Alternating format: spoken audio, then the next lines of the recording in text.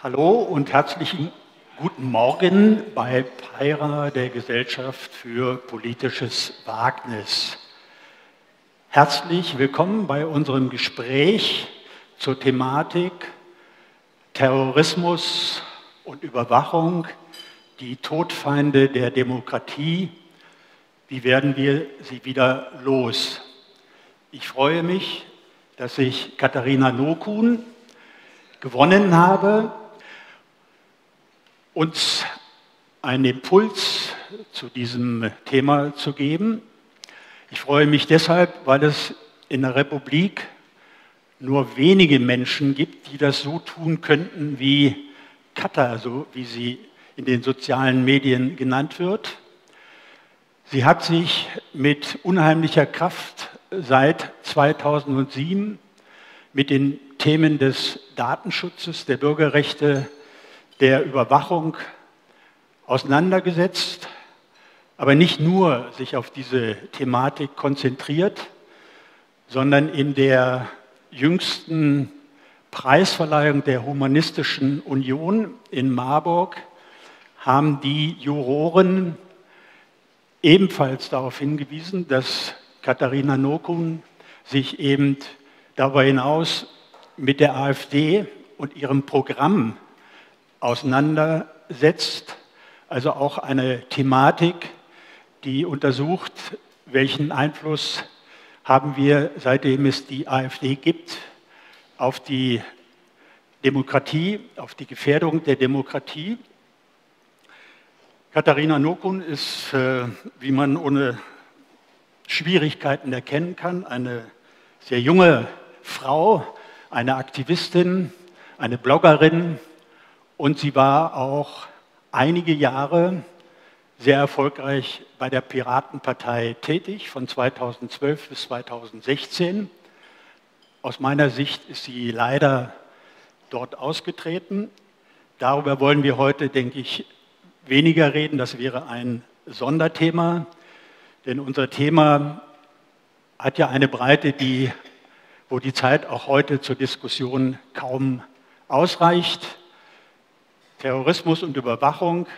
Dazu gehörte natürlich auch noch das Thema Terrorismus und Ursachen. Das klammern wir aber heute aus, weil wir eben, wie gesagt, die Breite dann erst recht nicht hätten bewältigen können.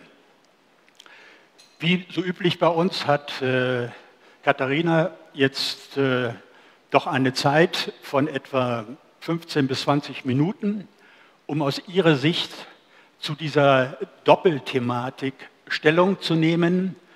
Und äh, ich hoffe oder ich bin mir sicher, dass wir zum Schluss, ohne das Ergebnis vorwegzunehmen, äh, viele neue Gründe und alte Gründe haben werden, warum man die Überwachung, die Massenüberwachung zurückdrängen muss, wenn man die Demokratie nicht weiter gefährden will. Katharina, Terrorismus und Überwachung. Ja, vielen Dank äh, für diese ausführliche ähm, Vorstellung. Ich freue mich sehr, hier zu sein und freue mich auch sehr über die Einladung und ähm, auch vor allem über die Einladung zu diesem Thema, das doch für mich das Thema war, ähm, was mich dazu gebracht hat, mich überhaupt politisch zu engagieren denn ähm, wenn ich mich zurückerinnere an das Jahr 2007, 2006, dann war es so, dass ich in Münster studiert hatte und ich habe öfter mal überlegt, soll ich mich politisch engagieren? Waren auch mal bei Attac äh, bei einer lokalen Gruppe, die haben leider nur über den lokalen McDonalds und das Müllproblem diskutiert. Dachte ich mir so, hm, okay, eigentlich ähm, möchte ich mich eher mit anderen Themen befassen. Und irgendwann habe ich dann in der Zeitung gelesen, dass die Vorratsdatenspeicherung verabschiedet werden soll.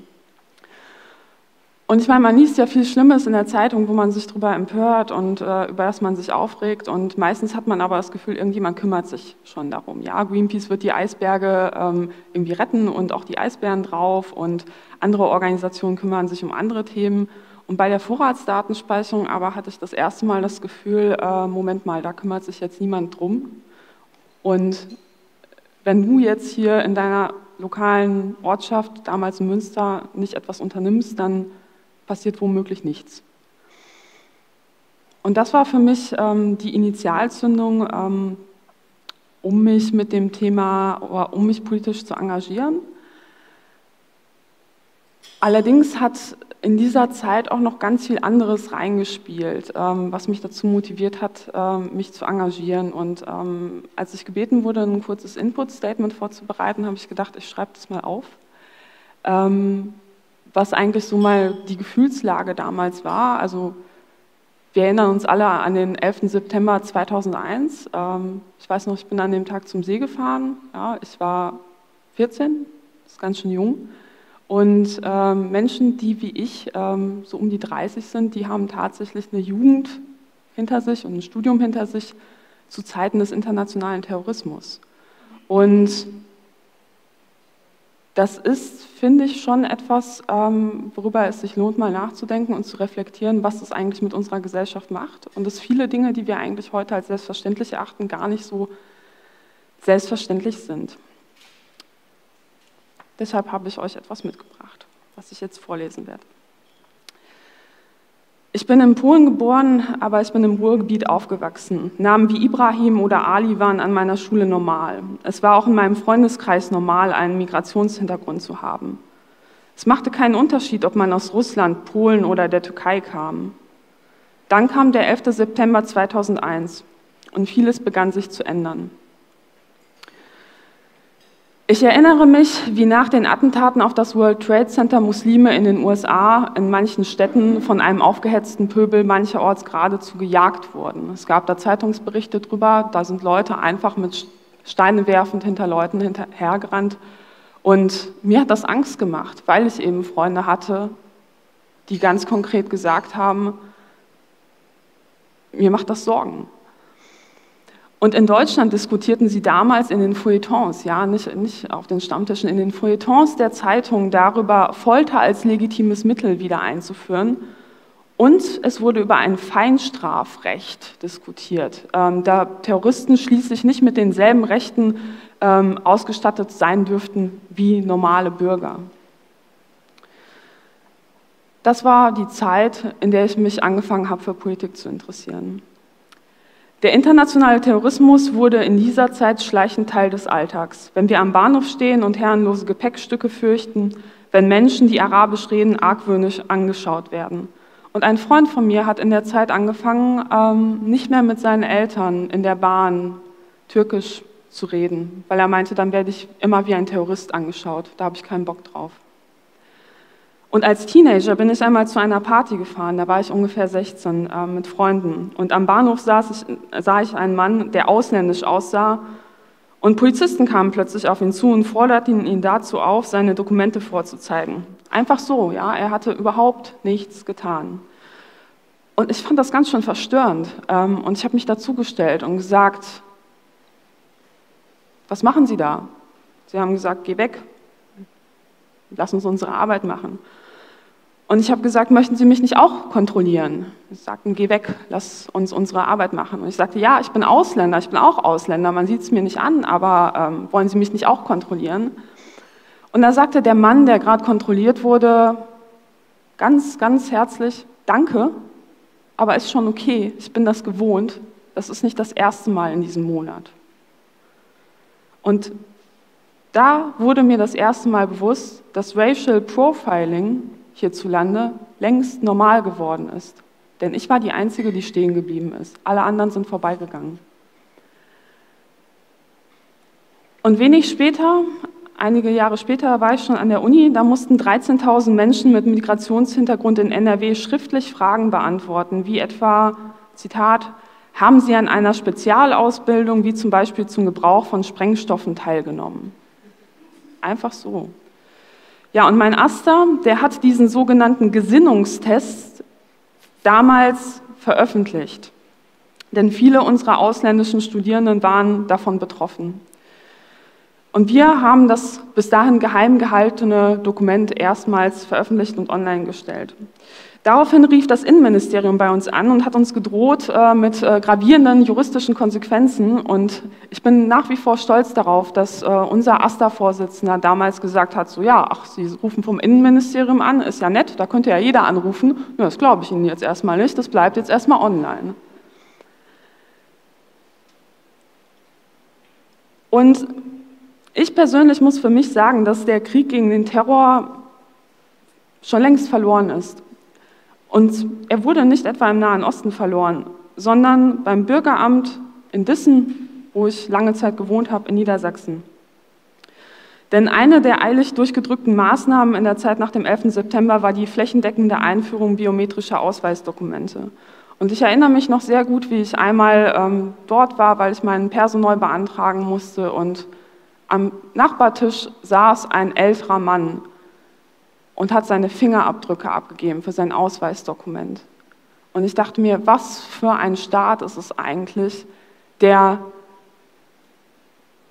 aus Gründen der Terrorismusbekämpfung einen Mann, der noch nicht einmal ohne Krückstock mehr laufen kann, wie damals einen Verbrecher behandelt und ihn dazu zwingt, seine Fingerabdrücke abzugeben.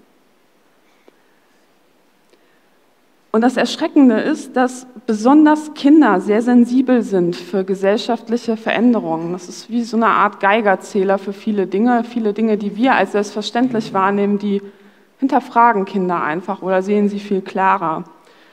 Und ich habe lange Zeit in Niedersachsen gelebt und das niedersächsische Innenministerium hat vor einigen Jahren tatsächlich eine Broschüre finanziert, in der sie ähm, Kennzeichen für radikalen Islamismus bei Jugendlichen aufzählten. Und da war eine Riesenlatte an Maßnahmen, die angeblich ähm, eindeutig auf eine Radikalisierung von ähm, Jugendlichen hinweisen, unter anderem geänderte Essgewohnheiten, launisches Verhalten und ungewöhnliche Kleidung.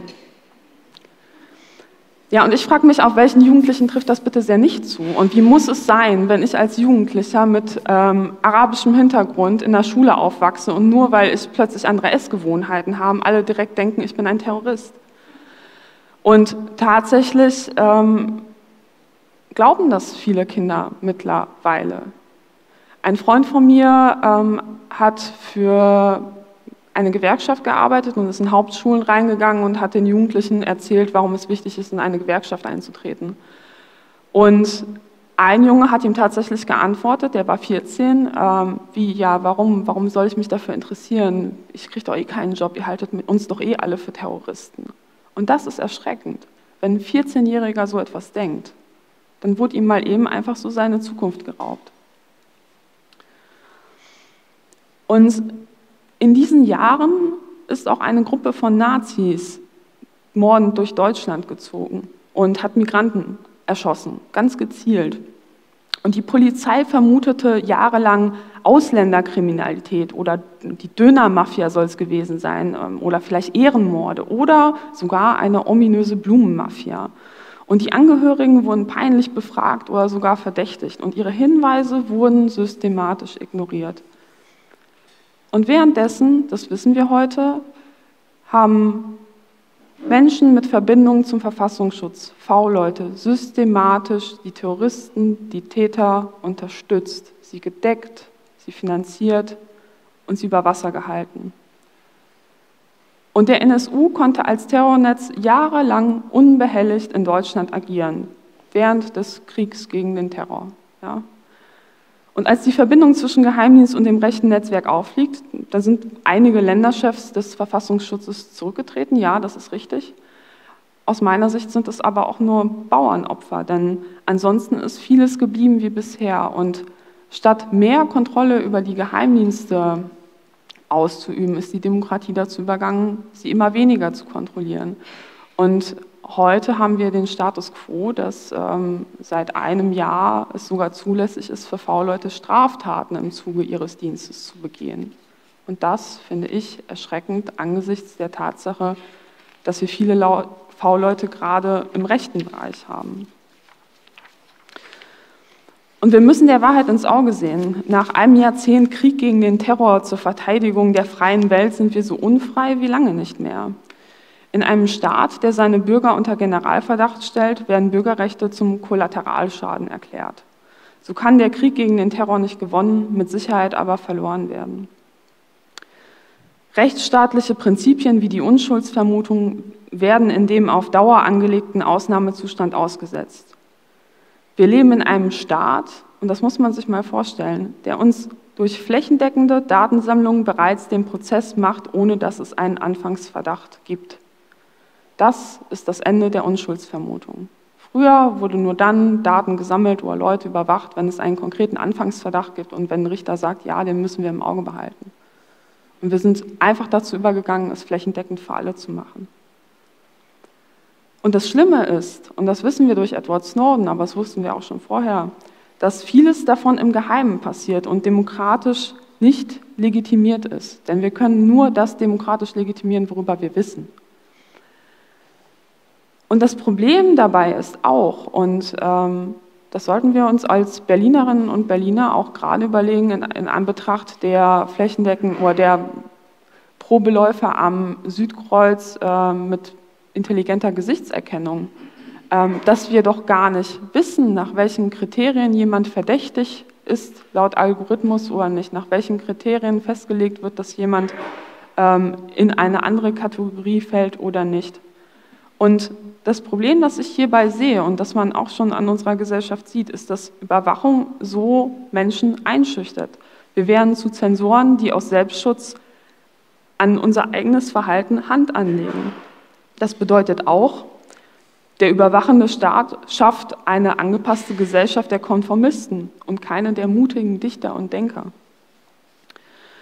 Und die Idee der totalen Sicherheit ist nicht nur verführerisch, sondern auch trügerisch. Denn intelligente Täter, die Überwachung aus dem Weg gehen, kommen in den Über von den Überwachungsbefürwortern konstruierten Szenarien nicht vor.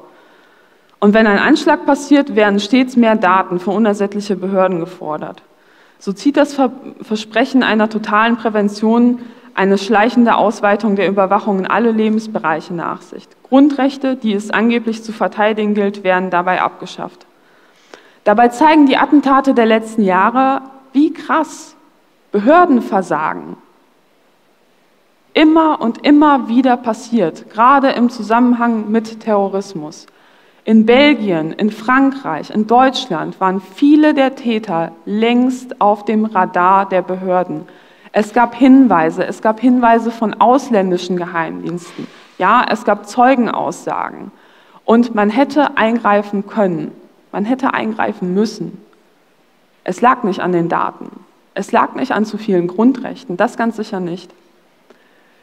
Aber wir haben eben ein Problem, wenn die öffentliche Debatte, wenn wir in der öffentlichen Debatte die Verantwortlichen damit durchkommen lassen, dass sie eben mit dieser Behauptung weiter Grundrechte einschränken können, statt selbst Konsequenzen zu ziehen. So haben wir nämlich eine sehr gefährliche Dynamik. Einerseits wird unser Land nicht sicherer, ganz bestimmt nicht, weil die Fehler immer wieder passieren, weil die Verantwortlichen gelernt haben, wir kommen damit durch. Andererseits werden Grundrechte abgebaut und Grundrechte sind ja auch immer Abwehrrechte des Bürgers gegen den Staat. Ich erinnere nur an den Fall des ähm, Bürgerrechtlers, der letzte Woche in Großbritannien dazu aufgefordert wurde, seine Passwörter rauszugeben und ein Verfahren bekommen hat, weil er sich geweigert hat, das zu machen. Ja, wenn wir in Europa solche Zustände durchgehen lassen, dann ist unsere Demokratie nachhaltig gefährdet, denn Datenschutz ist kein Luxusgut, auch wenn uns das vielleicht Leute weismachen wollen. Das Recht auf Privatsphäre ist ein Menschenrecht und Datenschutz stellt in einer Informationsgesellschaft unweigerlich die ultimative Machtfrage. Denn es geht um nicht weniger als darum, die Voraussetzungen eine für eine funktionierende Demokratie zu bewahren. Wenn Demonstrationen videoüberwacht werden und per Funkzellenabfrage alle Handybesitzer im Umkreis ermittelt werden, dann geht man nicht mehr zu Demonstrationen irgendwann. Und ähm, ich hatte die Ehre, auf der G20-Demo in Hamburg ähm, für das Hamburger Bündnis gegen Überwachung zu sprechen, das ich zu meiner Studienzeit mit gegründet habe. Und in der Nachbesprechung, ähm, einige Tage darauf, hat sich jemand im Publikum gemeldet und gesagt, ich war dort bei der Demonstration. Das war meine erste Demonstration, bei der ich jemals im Leben war. Und der junge Mann wurde einfach so grundlos auf offener Straße festgenommen, in die Gesa mitgenommen, musste sich ausziehen und hat zwölf Stunden ähm, dann eine sehr entwürdigende Behandlung über sich ergehen lassen, obwohl er nichts gemacht hat. Und es war, es war für mich schockierend zu sehen, dass jemand, der jedes Recht der Welt hat, gegen ungerechte und ja, nicht sozial gerechte Globalisierung auf die Straße zu gehen, dass so jemand so behandelt wird. Und ich, er hat gesagt, ich werde es recht das nächste Mal auf die Straße gehen, allein weil ich solche Zustände nicht dulden möchte. Aber ich frage mich, wie viele dann sagen, nee, ich gehe dann nicht mehr das nächste Mal auf die Straße, das ist mir persönlich zu gefährlich. Und auch Funkzellenabfragen von Demonstrationen sind ja ähm, längst kein Schreckgespinst mehr, was man an die Wand malt, was theoretisch mal passieren könnte. Das ist alles schon längst passiert. Beispielsweise bei der großen Anti-Nazi-Demo in Dresden äh, wurde wegen irgendeiner Lappalie einfach mal die Funkzelle abgefragt. Das heißt, man konnte die ähm, Telefone von allen Teilnehmern und auch nebenbei allen Anwohnern im Umkreis nachvollziehen durch die Polizei.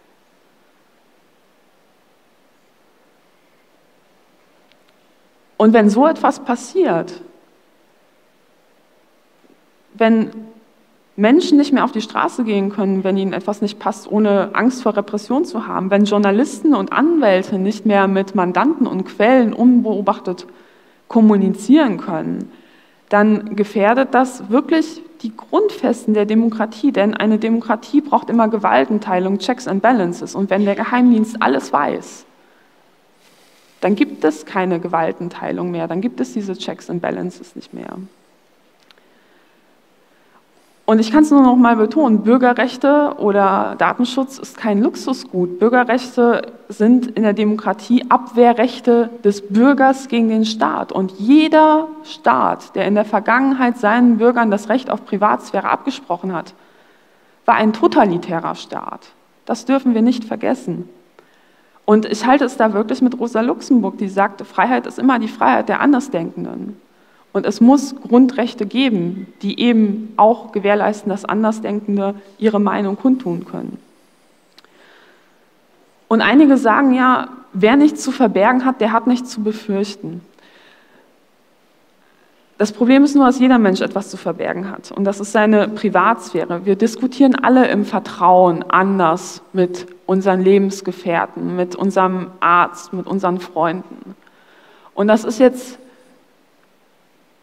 nicht etwas, was äh, revolutionär neu wäre, sondern jeder Mensch ist doch anders gegenüber anderen Menschen, abhängig von der sozialen Rolle. Ja, Dinge, die wir unserem Lebenspartner erzählen, würden wir unserem Chef nie sagen. Das ist gut so und das soll auch gefälligst so bleiben. Und die wenigsten von uns würden in ihrem Schlafzimmer einen Livestream installieren. Ja? Und ich weiß nicht, wie viele, wie viele hier der Anwesenden den äh, Edward Snowden Kinofilm gesehen haben. Den kann ich Ihnen allen nur ans Herz legen.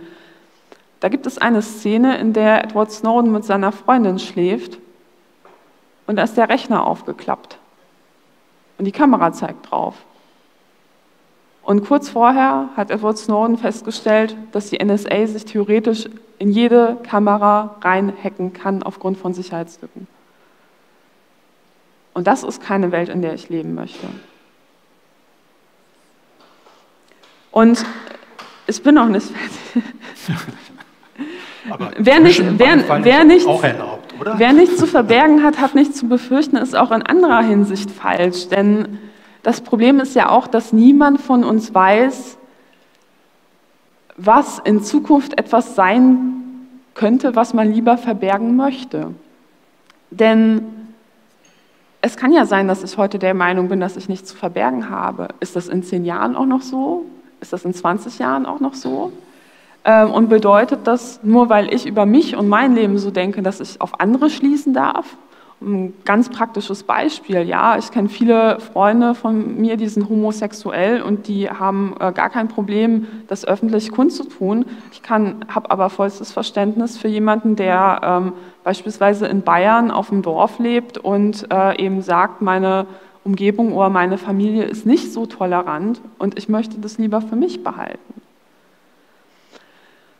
Und um mal ein anderes Beispiel zu bringen ähm, zum Thema, ich habe nichts zu verbergen, ich habe nichts zu, zu befürchten und wie sich der Kontext von Daten auch im Zeitablauf ändern kann. Ich bin in der Nähe von Auschwitz geboren worden. Tatsächlich auch an der Auschwitzer Straße haben wir sehr lange gelebt und bei uns liefen die Bahnschienen lang Richtung Auschwitz. Ja? Bei uns im Dorf wusste jeder Bescheid, was da passiert. Und das Interessante ist aber, dass die höchste Deportationsquote von Juden ähm, gar nicht in, in Deutschland war, sondern in den Niederlanden. Und das hatte einen einfachen Grund, denn äh, kurz bevor die Deutschen in den Niederlanden einmarschiert ist, gab es eine Volkszählung. Da wurde das Religionsmerkmal abgefragt. Und die Niederländer haben sich ganz sicher nichts Böses dabei gedacht. Aber als die Deutschen gekommen sind, sind sie in die Ämter reinmarschiert, haben die Daten geholt und da sieht man eben, wie ein neuer Kontext aus Daten eine tödliche Waffe machen kann. Und das Beispiel wirkt weit hergeholt, aber ich persönlich mache mir große Sorgen um unsere Demokratie. Ich weiß nicht, wie stabil diese Demokratie ist. Die Entwicklung in den USA macht mir Sorgen, die Entwicklung in Ungarn macht mir Sorgen. Und ich habe bis vor einigen Jahren immer noch gedacht, okay, wenn es in Deutschland mal einen Rechtsruck geben sollte, dann kann ich ja zurück nach Polen gehen. Heute kriege ich, heute kriege ich Morddrohungen von polnischen Nazis, die vorschlagen, mich auf einem Pfahl aufzuspießen. Und an der Regierung sitzt eine Partei, die kein Problem damit hat, ähm, kritische Journalisten aus staatsnahen Medien zu entfernen und dies auch noch in Talkshows öffentlich anzukündigen. Und das Bedrohliche am, an den ganzen Überwachungsinstrumenten, die im Zuge des Krieges gegen den Terror eingeführt wurde, ist auch, dass wir einen schlüsselfertigen Überwachungsstaat damit an eine zukünftige möglicherweise rechte Regierung übergeben und nicht wissen, was damit passiert. Und das eine Erfahrung oder ein, eine Wahrnehmung, die ich die letzten Jahre gemacht habe, ist, dass Überwachung niemals an denen ausprobiert wird, denen es gut geht, niemals an denen ausprobiert wird in der Gesellschaft, denen die, die was zu sagen haben, die mächtig sind, sondern Überwachung wird immer zuerst an denen ausprobiert, die sich nicht wehren können. Das sind zum einen Hartz-IV-Empfänger, das sind zum anderen Migranten. Und das sind auch andere Randgruppen wie beispielsweise Fußballfans, wo erstmal Maßnahmen wie beispielsweise intelligente Videoüberwachung oder neue Datenbanken eingeführt werden, wo man sich sicher sein kann, der Rest der Bevölkerung wird sagen, ja, ach, ich bin ja nicht betroffen und das ist ja gar kein Problem. Die Erfahrung zeigt aber in den letzten Jahren, dass früher oder später die meisten oder alle dieser Überwachungsinstrumente früher oder später auf die ganze Bevölkerung ausgerollt werden.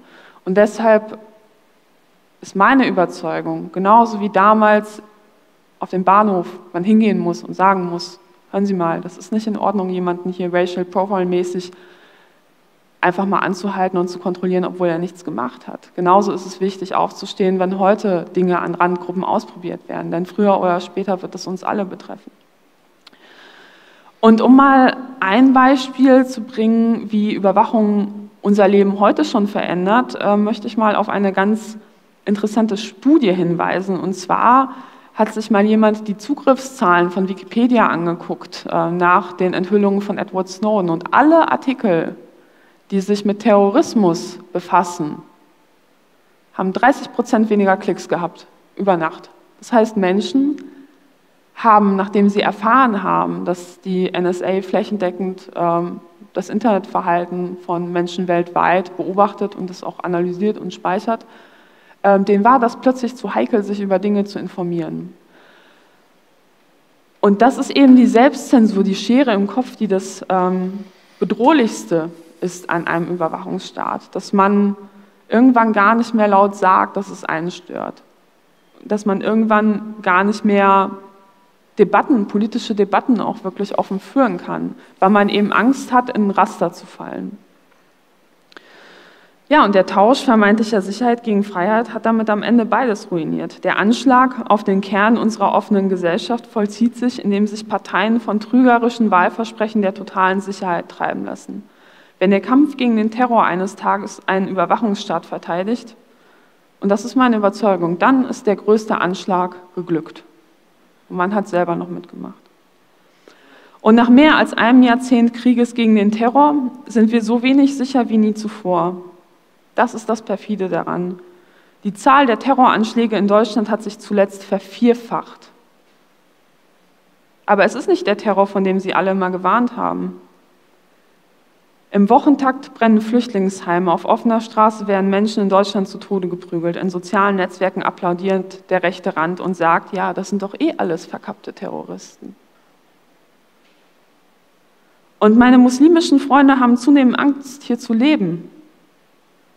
So Gespräche bei Partys nach dem Motto, na, und wohin, wohin wirst du auswandern, wenn es hier mal so richtig schlimm wird?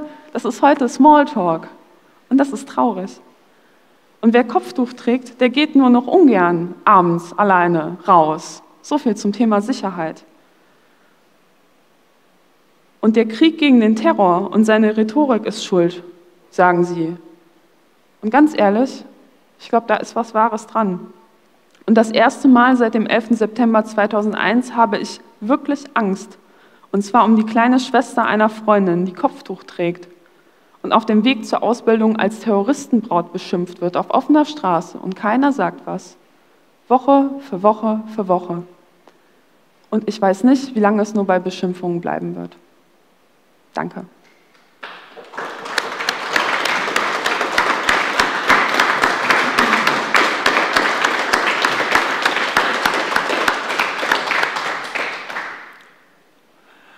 Katha, herzlichen Dank für deine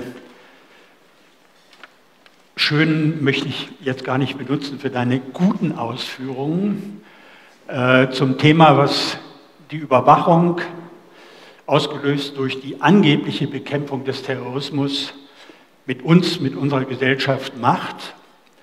Ich bedanke mich deshalb so ausführlich, weil wir ja alle, die sich dagegen wehren, dafür kämpfen, dass sich noch mehr dagegen wehren. Und das ist uns bisher nicht gelungen. Das ist sehr schade. Du hast völlig zu Recht äh, sozusagen das Thema der Privatheit angesprochen. Aber offenbar scheint es so zu sein, dass viele Menschen in diesem Land immer noch meinen, sie leben in einem guten Land und es geht ihnen gut. Und es gibt sozusagen keine Einschränkung in ihrem persönlichen Bereich durch den Staat. Das meinen sie offenbar deshalb, weil eben viele Menschen nicht so genau sich mit der Politik der Gegenwart und erst recht nicht mit der der Vergangenheit und auch nicht mit der Zukunft beschäftigen. Was will ich damit sagen? Wir erreichen sie im Moment nicht, weil dieses Grundgefühl da ist. Was mich nur noch mehr ärgert, ist, dass wir jetzt nach der verlorenen Wahl von der SPD hören, und was wir auch im Wahlkampf schon ein wenig von Ihnen gehört haben, dass dieses Land mehr politische Streitkultur braucht. Der SPD, die allen Verschärfungsgesetzen, ob im Asylbereich oder im Überwachungsbereich, zugestimmt haben, die fordern nun plötzlich dazu auf, dass im Land mehr Streit über die Politik stattfinden soll. Das ist doch hochschizophren. Es ist taktisch, es ist unehrlich und führt eben nicht dazu, wie du es beschrieben hast, äh, diese äh, gravierenden Veränderungen in der Gesellschaft nach 9-11 anders anzugehen als äh, mit dem Thema Sicherheit durch Überwachung herzustellen.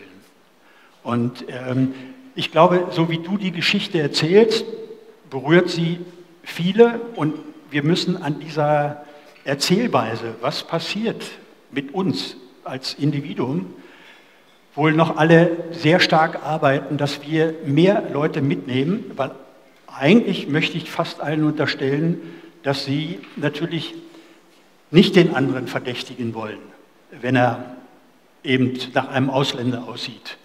Dass sie eigentlich alle in Freiheit leben wollen, aber sie müssen natürlich dann auch den Mut aufbringen, eben nicht nur Artikel nicht zu klicken, die ähm, möglicherweise eben durch die NSE dann Hinweise geben, aha, da haben wir den nächsten, der sich darauf vorbereitet, die nächste Bombe zu werfen, sondern wie du es ja für dich als Person beschrieben hast, das Engagement auf der Straße im Miteinander, das müssen wir ähm, entwickeln. Das ist nicht entwickelt, leider, es ist zurückgegangen sogar. Und das, das, ist jetzt mein letzter Satz. Ich kann es auch deshalb nicht nachvollziehen, weil ich ja nun eine andere Biografie habe.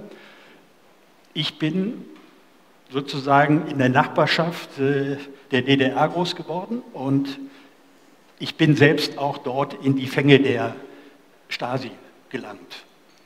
Und das ist ja gar nicht so lange her für die meisten Deutschen. Wollen wir wirklich in diese Richtung weitergehen? Eigentlich doch nicht. Punkt.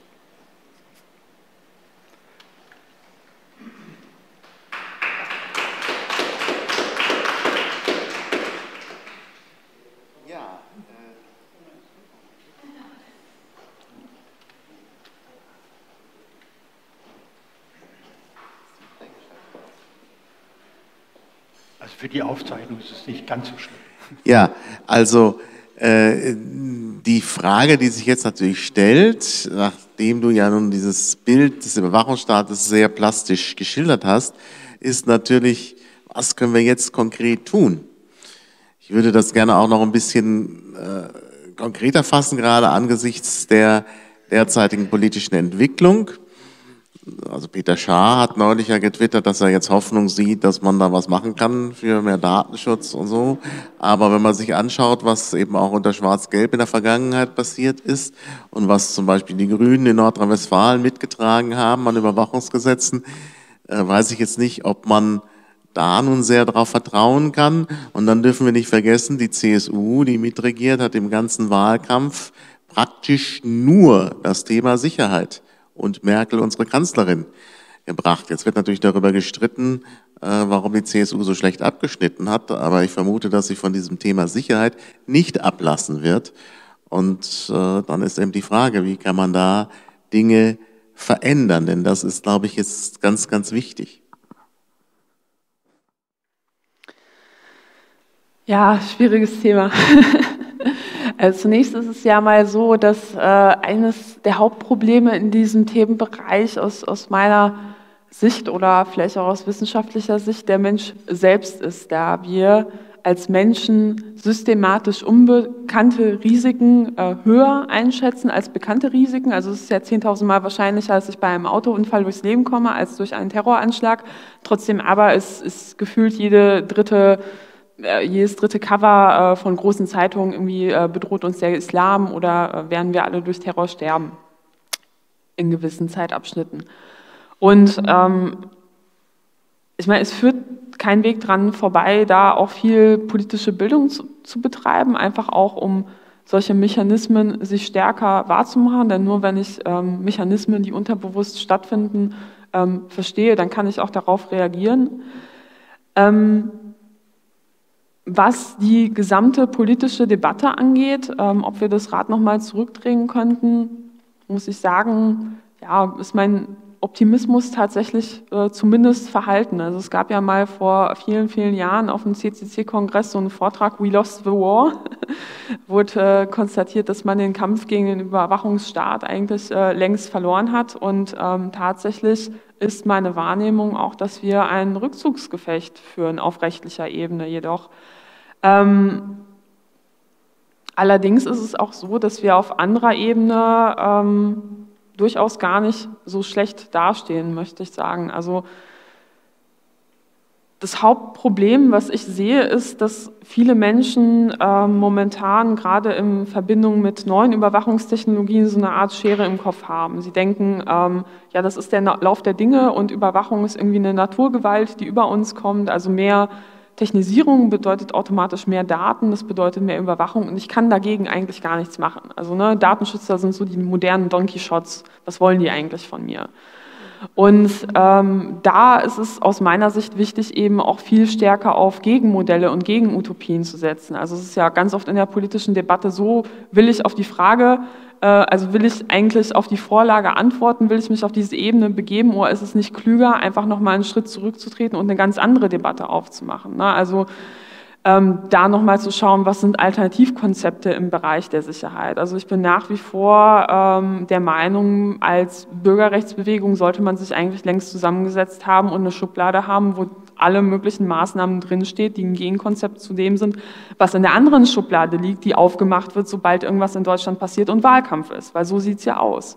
Und dass das noch nicht passiert ist, das ist, denke ich mal, eine Schwäche der Bewegung, die man, das liegt aber auch in unserer Macht, das zu verändern, dass ähm, da von, von Seiten der Politik von sich aus ähm, ein Handeln oder ein Umdecken stattfinden wird. Das glaube ich nicht. Das glaube ich absolut nicht. Aber es liegt eben auch, sage ich mal, in, in der Verantwortung einer starken Bürgerrechtsbewegung, da eben auch Alternativen aufzuzeigen. Beispielsweise, wie sieht denn ein datensparsames soziales Netzwerk aus? Wie sieht denn beispielsweise ähm, eine, ein sicheres Verschlüsselungskonzept aus. Ne? Und da halt auch nochmal vielleicht neue Bündnispartner zu suchen. Denn ähm, man darf ja nicht vergessen, dieser Kampf gegen Verschlüsselung, der von vielen Innenministerien weltweit jahrzehntelang geführt wurde, der ist ja nicht gescheitert aufgrund des Widerstands der Bürgerrechtsbewegung, sondern aufgrund des Widerstands der Wirtschaft, die gesagt hat, Online-Banking, alles Mögliche können wir vergessen, wenn wir absichtlich Löcher in unsere Verschlüsselung bohren. Und da unübliche äh, Bündnispartner zu suchen, mag nicht in allen Bereichen populär sein, aber aus meiner Sicht ist es der einzige Weg, der da irgendwie zum Ziel führen kann, weil so Argumente, die kommen dann auch bei der CSU an. Ich hoffe, das beantwortet die Frage ein bisschen.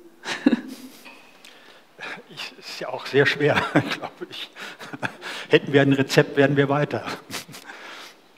Hallo, ähm, ich bin Claudia und erstmal vielen Dank für deinen Vortrag. Das war total interessant und ähm, macht einem doch immer noch mal, auch wenn man schon drüber nachgedacht, hier kleine, da kleine Facetten auf, über die weiter nachzudenken und dran zu bleiben.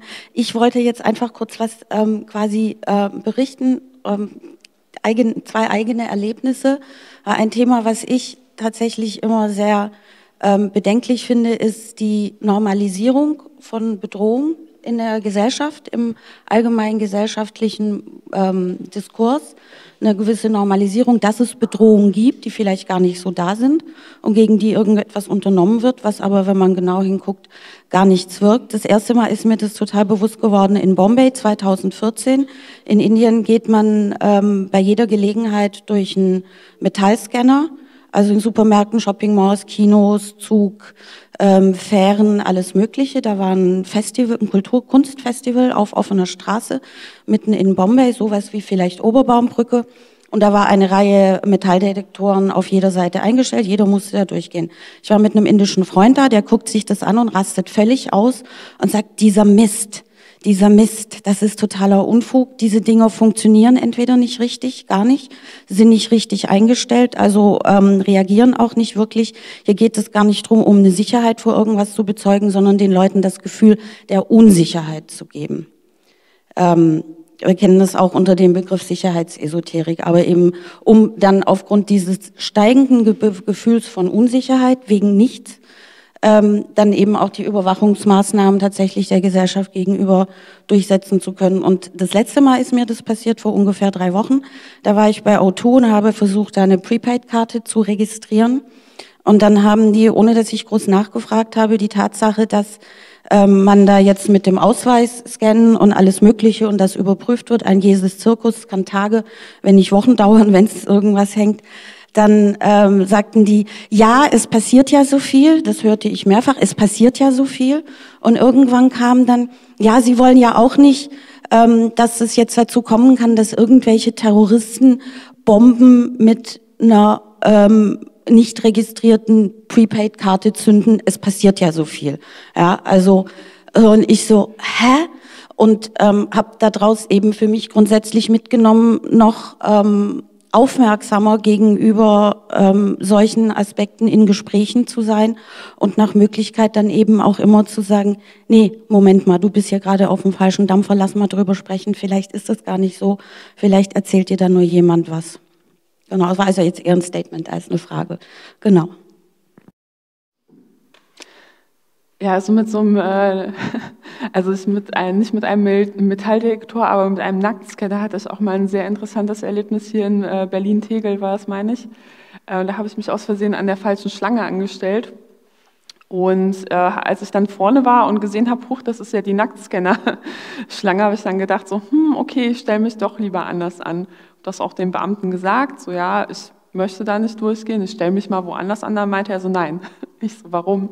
Er so, ja, das ist jetzt aber schon verdächtig, dass Sie jetzt hier sich angestellt haben und jetzt woanders hingehen wollen. Ich so, ja, also ich will da halt nicht durchgehen.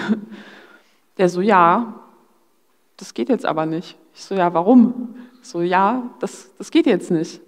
Und dann äh, hat der, also dann gab es noch eine, eine, eine Diskussion, ähm, habe ich irgendwann gesagt, so, ja, also ich, ich gehe hier jetzt einfach nicht durch. Der so, ja, dann, dann muss ich wohl die Kollegen rufen. Da habe ich gesagt, so, ja, ja, machen Sie das doch. Ja, dann hat er noch mal ein bisschen telefoniert. Und äh, ich glaube, es lag daran, dass ich gesagt habe, ach ja, Zeit habe ich ja, es passt ja thematisch auch ganz gut, ich bin auf dem Weg zu einer Bürgerrechtskonferenz, dass er dann gedacht hat, so, hm, okay, vielleicht doch eine schlechte Idee, aber ich musste dann trotzdem natürlich eine äh, Spezialdurchsuchung über mich ergehen lassen und einen Wischtest für Sprengstoff. Einfach nur, weil ich gesagt habe, ich möchte nicht durch den Freiwilligen, ich betone es nochmal, er ist ja freiwillig, äh, Nacktscanner am Flughafen. Und das ist, äh, finde ich, schon ein erschreckendes Ding. Wenn man merkt, dass eigentlich äh, ja, Maßnahmen, die auch erstmal eingeführt werden mit, mit dem Hinweis, das ist freiwillig, ja, sie müssen das nicht machen, es ist freiwillig, jedem steht es frei, wir zwingen niemanden dazu, wo ich mich dann auch frage, naja, also wenn man überzeugt davon ist, dass es für die Sicherheit absolut notwendig ist und es ist freiwillig, dann macht das ja irgendwie auch keinen Sinn. Ähm, Ganz davon abgesehen, ähm, rutscht man sehr schnell in diese Dynamik rein, dass es nicht freiwillig ist. Ja, je, ne, wer, genau, er hat auch noch mal zu mir gesagt, so ja, äh, wie Sie haben noch nichts zu verbergen. also wo ich dachte so, okay, im Kontext eines Nacktscanners ist das echt creepy, Sie mir das jetzt gerade sagen, aber gut.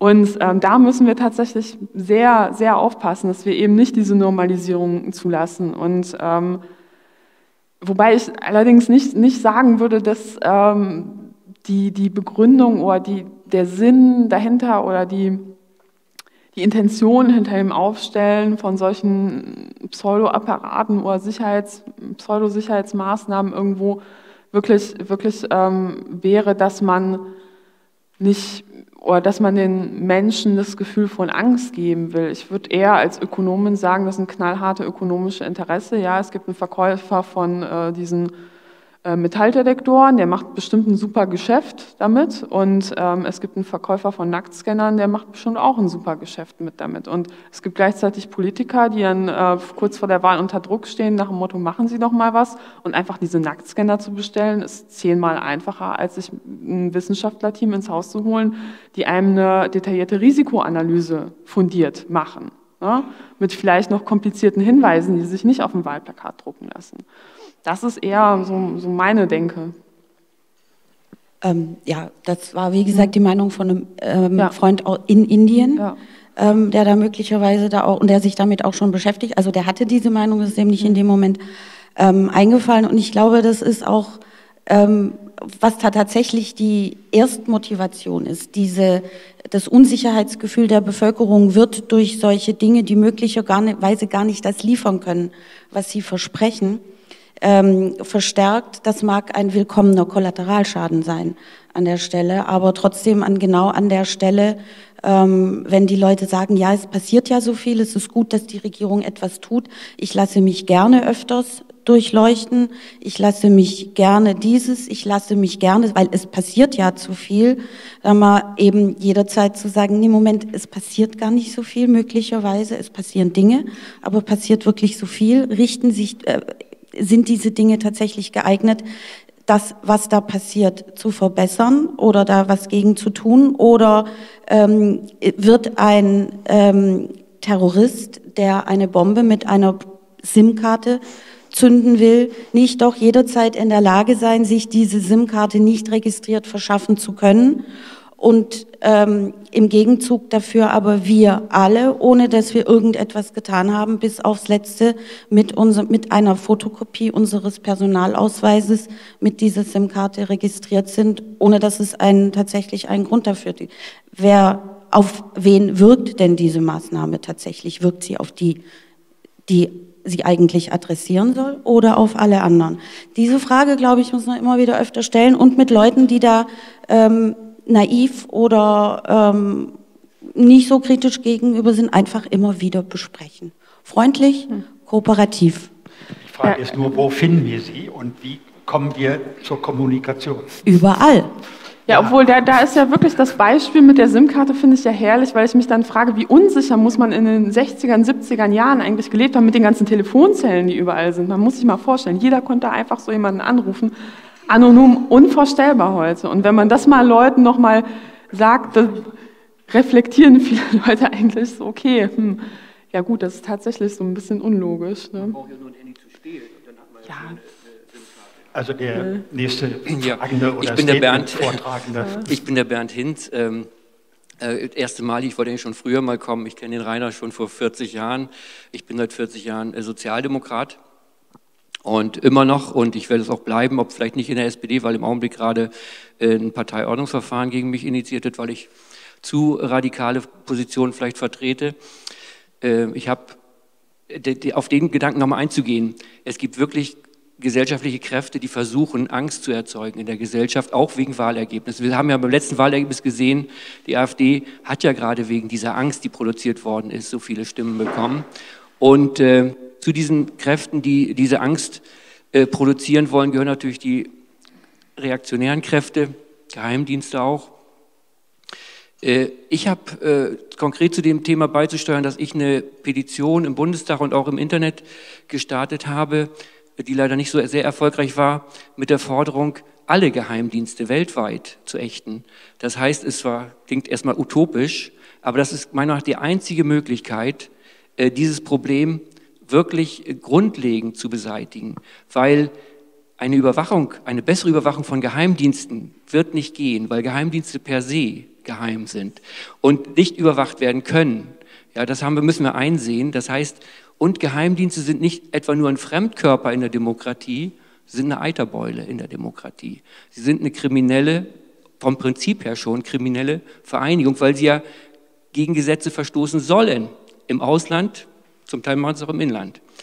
In diesem Zusammenhang eine Bemerkung. Ich habe vor drei Tagen gelesen, dass bei diesem Abu-Wala-Prozess, äh, in, ich glaube in Münster oder so, auch zum Problem Amri etwas rausgekommen ist, nämlich dass der V-Mann, der mit dem Amri zusammen Kontakt hatte, ihn mehrmals aufgefordert haben soll, endlich doch Anschläge zu machen. Steht in der Süddeutschen Zeitung vor drei Tagen. Das ist ein Punkt, der, glaube ich, auch im Untersuchungsausschuss nochmal zur Sprache kommen sollte, weil die Terminierung dieses Anschlags, Amri, ist ja optimal gewesen. Nicht vor den Berliner Wahlen, das hätte dem Henkel geschadet. Ja? Nicht vor der Bundestagswahl direkt, das hätte der, der Merkel und dem de Maizière geschadet, sondern vor den Landtagswahlen, vor den Landtagswahlen. Ja? Und dass der Mann nicht festgesetzt worden ist, wie bei anderen Fällen auch.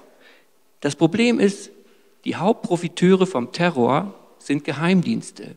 Weil jedes Mal, wenn es kracht, kriegen sie mehr Geld, mehr Personal, mehr Reisemittel, mehr äh, Ermächtigungsgesetze. Sie kriegen alles, was sie wollen. Es muss nur krachen.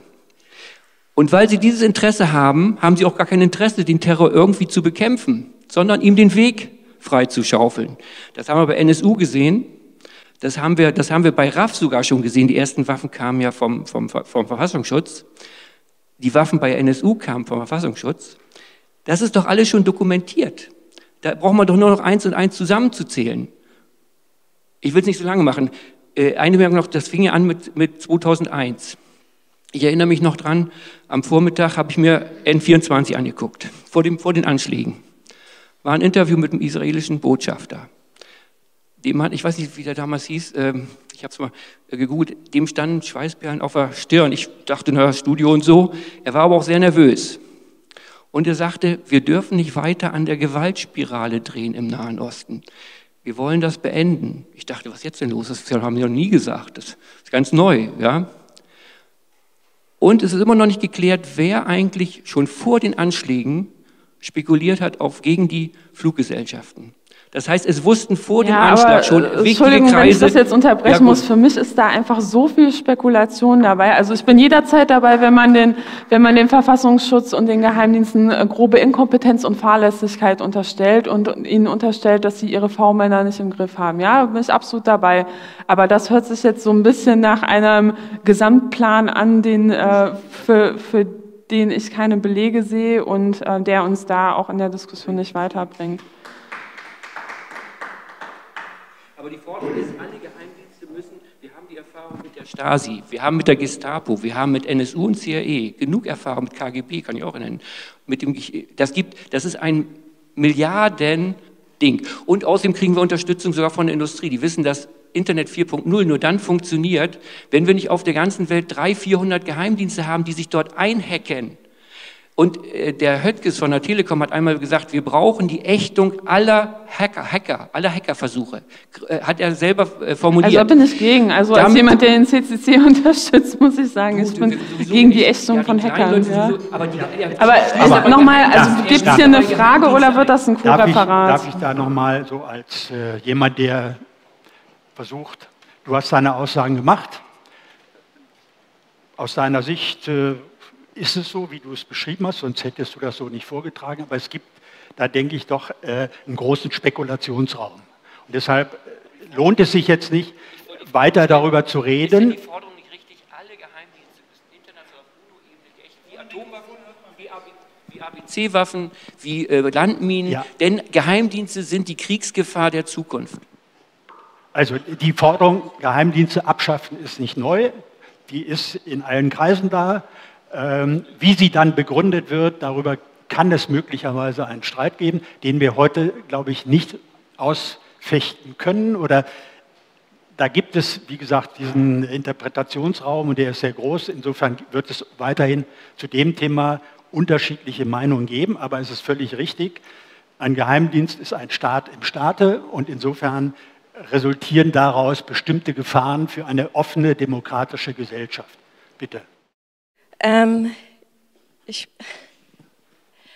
ich möchte hier mal aus meinem Blickfeld ent, äh, erzählen. Das ist ähm, etwas, wo ich eigentlich ungewollt drin bin, äh, quasi hineingezogen bin durch meine äh, Familie oder Familienangehörigen sozusagen, meine Kinder. Ähm, ich kann nur sagen, äh, dass es natürlich keine Gleichberechtigung Gleichberechtigung, keine Gleichstellung mehr gibt, keine Neutralität mehr gewährleistet wird. Dazu, da stimme ich Ihnen sehr zu. Ähm, es gab zum Beispiel, oder es gibt Richter oder eine Richterin am Kammergericht, äh, die dann Aussagen gibt wie äh, gegenüber den äh, Kindern, äh, sind Sie denn gegen Multikulti, ohne also mich zu kennen oder jemand anders? Nur vom einmal sehen und sagt dann, sehen Sie nicht, dass Ihr Kind mehr nach dem Vater kommt. Sowas kann einfach nicht mehr sein, dass sowas hier passiert. Ähm, das andere ist, warum es hier Fingerabdrücke äh, überprüft werden und sowas, das kann ich verstehen. Ähm, das sehe ich jetzt auch nicht als komplette Überwachung, sondern als Prüfung einfach. Ähm, weil es gibt halt Menschen, die äh, sich neue Namen zulegen und wie auch immer. Und da muss man die Identität überprüfen. Die machen das nicht ohne Grund. Ähm also es hat schon einiges seine Begründung und ich, ja.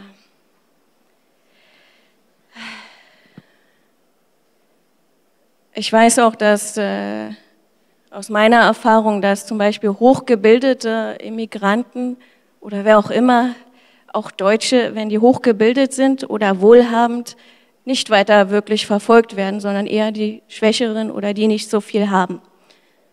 Ähm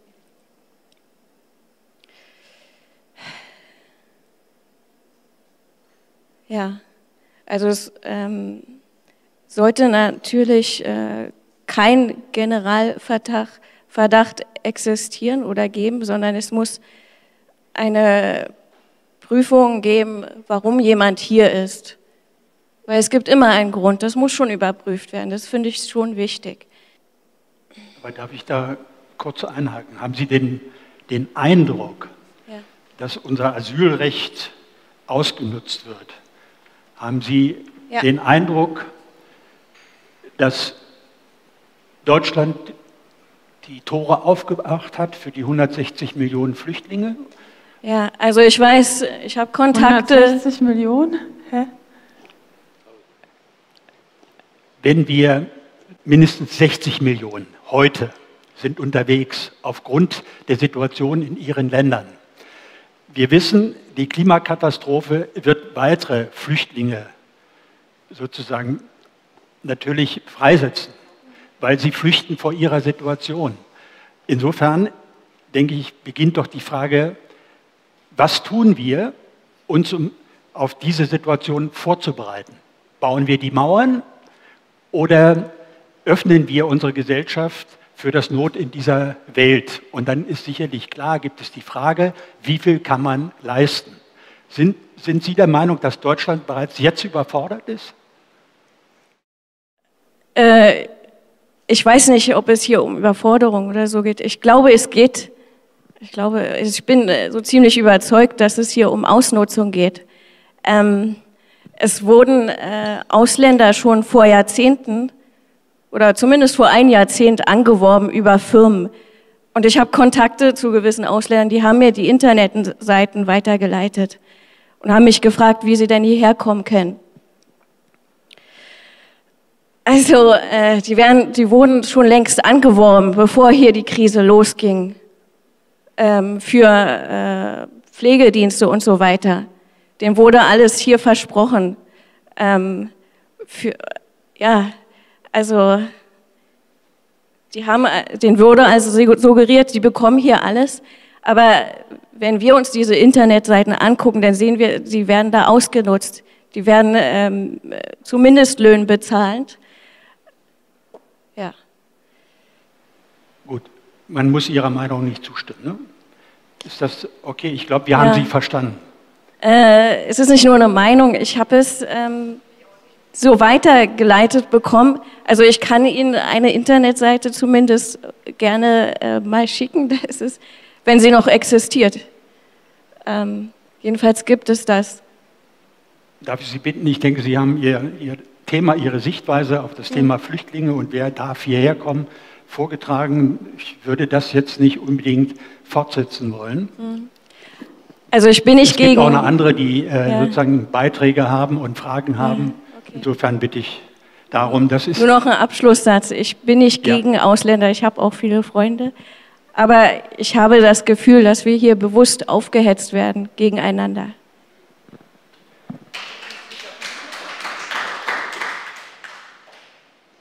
Das Klatschen kann ich jetzt nicht ganz verstehen, aber okay. Wir ja. sind ja der Raum für freie Meinungsäußerung. Ja, äh, nochmals, also ich bin, ich bin. Wir weisen Sie allerdings zurück, wenn Sie rassistisch werden. Gut. Ich bin Gerd, auch, ich bin heute nicht zum ersten Mal hier. Ich habe aber, ich möchte mal meine Meinung sagen. Da ist vielleicht auch was Spekulatives dabei. Ähm, der Mensch neigt ja eigentlich nicht nur zur Gemeinsamkeit, sondern ist auch in der Lage, gemeinsame Zwietrachten zu sehen, wenn man bestimmte Ziele erreichen will. Ich sage das aus dem Grund, was Fremde betrifft, war man schon, kann man ganz, ist es eigentlich ganz natürlich, dass man erstmal schaut, was will der eigentlich, warum ist er hier, wie kann ich ihn dann im Endeffekt, wenn er wirklich ein Problem hat, auch so unterstützen, dass er weiterkommt. Äh, aber das ist nicht erst ein Problem, seitdem diese Einwanderungswelle, aus welchen Gründen auch immer, hm, stattfindet, sondern das ist eigentlich seitdem die Menschheit äh, häuslich geworden ist, sesshaft geworden ist. Das gab es im Altertum, das gibt es im Mittelalter. Ich kann hier nur ein Buch empfehlen, William Shakespeare, Die Fremden, Anfang des 16. Jahrhunderts, wie man dort, wie die Bevölkerung dort zu den Fremden stand, die aus politischen oder Glaubensgründen aus Frankreich, die Hugenotten dort nach Frankreich gekommen sind. Die Einwohner oder die Einheimischen haben auch immer die als Konkurrenten gesehen. Das ist einfach so.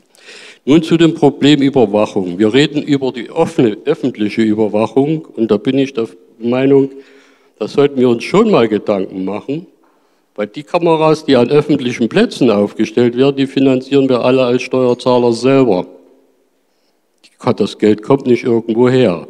Und wenn man die Überwachungsbilder in den letzten Fall sieht mit dieser Lebensmittelvergiftung, das war ein Konzern, der die Überwachungsfotos zur Verfügung gestellt hat. Das ist eine andere Geschichte. Mir ist bekannt, dass wöchentlich im Bundes, im, im, in unserer Regierung eine Gruppe zusammenkommt, wo sich die Regierung und Vertreter des, des, ähm, des Bundestages mit den Vertretern von Geheimdiensten abstimmen. Nun gehe ich mal davon aus, dass kein Geheimdienst äh, unbedingt daran arbeiten wird, zu sagen, er wird überflüssig. Die sind immer daran interessiert, dass sie ihre Daseinsberechtigung nachweisen. Das ist eine reine Spekulation, weil diese Sitzungen sind geheim. Man erfährt gar nicht, worum es dort geht. Und in öffentlichen Verhandlungen wie dem NSU-Prozess bleiben so viele Fragen übrig, obwohl der Prozess jetzt abgeschlossen ist. Welche Rolle spielen denn die Geheimdienste dort? Und da bin ich bei den Vorrednern.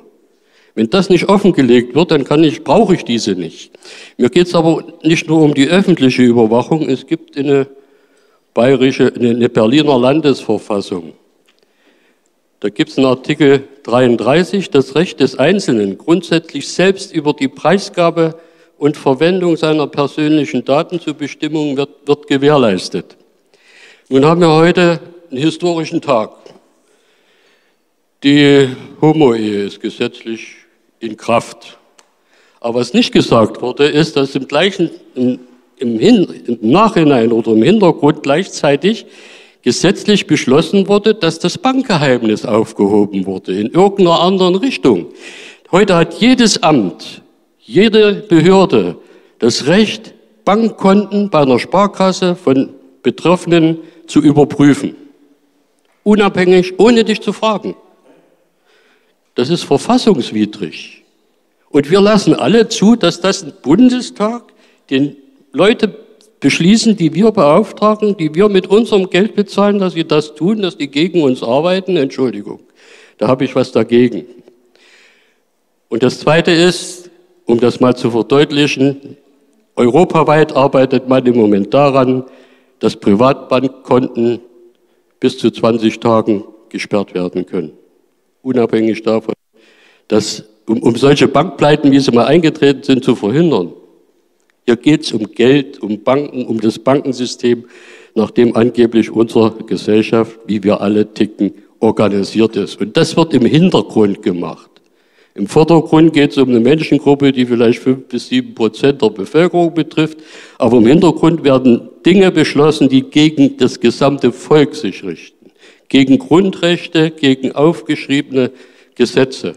Und das lassen wir alle zu. Da bin ich voll beim Verein, dass wir sagen, wir brauchen eigentlich mehr öffentliche Gemeinsamkeit, dass wir öffentlich zusammenkommen und uns erstmal über unsere gesetzlichen oder Staatsgrundlagen selber Gedanken machen, was steht da eigentlich drin.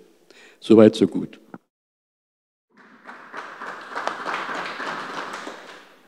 Ja, also ähm beim Thema Geheimdienste war mir ehrlich gesagt auch wieder ein bisschen so viel Spekulation mit drin, was ich aber auf jeden Fall, ähm, sag ich mal, Bedenken, die ich teile, ähm, ist in Bezug auf die ähm, Aufweichung des Bankgeheimnisses beziehungsweise die Kompetenz von Behörden, äh, Bankdaten an, abfragen zu stellen. Das hört sich erstmal total sinnvoll an und es wurde vor einigen Jahren äh, in Deutschland eingeführt, dass Behörden eine sehr geringe Hürde haben, um ähm, Bankdaten abzufragen und es wurde eben mit Terrorismusbekämpfung argumentiert.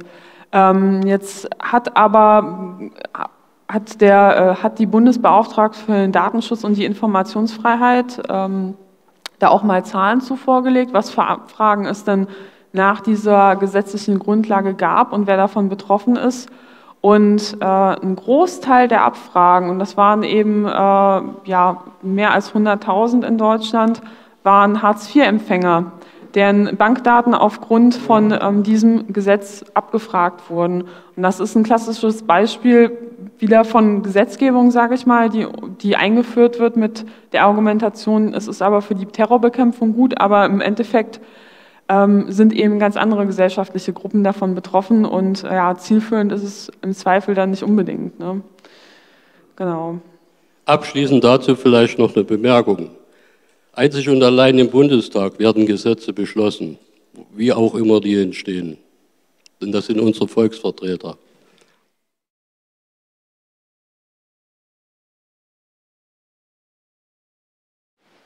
Manche Sachen bleiben im Raum stehen, weil, wie gesagt, wir hier eben keine Talkshow sind, die versucht, äh, einen Mainstream äh, herauszubilden, sondern hier ist der Platz für freie Meinungsäußerung.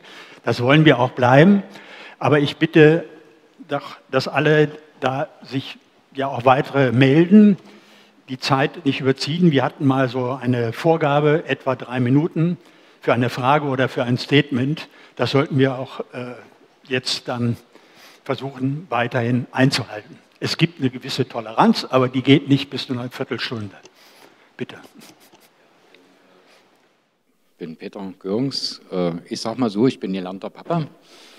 Ich bin gelernter Papa. Um das mal, also für mich ist der Kern der Gesellschaft die Familie. Und um meine Meinung vorneweg zu stellen, ist, Demokratie bedeutet ja, dass ich einem Vertreter mein Vertrauen ausspreche. Und ich habe ein Problem damit, wenn ich die Kontrolle nicht zurückbekomme. Das heißt, wenn der Vertreter mir nicht vertraut. Das ist aber immer noch das Symptom. Und wenn ich die Familie als Kern sehe, kann ich meine Kinder auch zu Terroristen erziehen, indem ich ihnen einfach nicht zuhöre. Weil dieser Terrorismus ist einfach nur eine Ausdrucksform dessen, dass irgendwelchen Kräften in der Gesellschaft oder in der Familie nicht zugehört wird. Ich beobachte das viel in anderen Familien, also ich selber brauche das nicht. Ja, meine Kinder haben auch keinen, äh, also ich hatte noch nie irgendwie Trotzalter oder sowas, gibt es nicht, weil ich höre zu. Aber der Terrorismus ist eine Ausdrucksform dessen, dass man eben sich Gehör verschafft. Und das heißt, wenn wir jetzt über Terrorismus reden, habe ich da auch schon allein mit der Rhetorik ein Problem. Wenn wir fragen, was kann ich gegen äh, Terrorismus machen, impliziert diese Frage bereits, es gäbe ein Mittel gegen Terrorismus. Es gibt kein Mittel gegen Terrorismus, den kann man nur ertragen. Ein Mittel, um Terrorismus zu verhindern, wäre, jedem, jeder Strömung in der Gesellschaft auch mal ein Ohr zu schenken. Ja, das heißt also, wir reden die ganze Zeit über, über Symptome, Symptome hier, Symptome da, alles Symptome. Die Ursache ist, dass bestimmten Kräften in der gesellschaftlichen Entwicklung nicht zugehört wird. Und wenn ich jetzt die Gesellschaft mal wieder aus diesem juristischen Konstrukt rausnehme und würde einfach mal sagen, die Gesellschaft ist eine natürliche Person, dann würde diese natürliche Person unter schulmedizinischer äh, Gesichtspunkten, würde paranoid äh, wahrscheinlich die beste äh, Bezeichnung sein. Weil wenn ich meine Tochter kontrolliere, auf ihr Handy ständig gucke und, und, und, wird sie natürlich auch aufrüsten und dann äh, versuchen, mir die Kontrolle zu entziehen, weil sie hat ja das Recht auf Selbstkontrolle. Ja, und dieses Recht auf Selbstkontrolle steht natürlich diametral gegenüber der Kontrolle gegenüber. Äh, das heißt also, äh, brüsten beide Seiten auf, wir reden nur über Symptome. Die Ursache wäre, dass wir den, den Staat grundsätzlich, also im Prinzip auch das mal machen, was wir, ich bin ja auch Ausbilder, also was ich meinen Lehrlingen beibringe, wie der Staat funktionieren soll. Ja, was wir uns mal vorgestellt haben, wie dieser Staat insgesamt funktioniert. Und ich habe da auch, also ich stehe da voll bei Ihnen, also ich habe hab von Richtern schon Aussagen, ich habe vom Bürgermeister Aussagen, die, die letztendlich, wo ich mich dann genötigt sah, zu fragen, sind Sie überhaupt ein gesetzlicher Richter oder welche Funktion sitzen Sie jetzt da? Ist das hier ein ordentliches Gericht? Weil es geht ja immer noch um Einigungsbetrug und, und, und, private Schiedsrichter und so weiter. Also äh, es geht hier aus meiner Sicht zu viel um Symptome und zu wenig um die Frage, kann man Terrorismus bekämpfen? Nein, man kann ihn nicht bekämpfen, man kann ihn nur ertragen. Ja? Und ich kann auch meine Kinder zu Terroristen erziehen, indem ich ihnen lange noch nicht zuhöre. Das ist mein Statement dazu.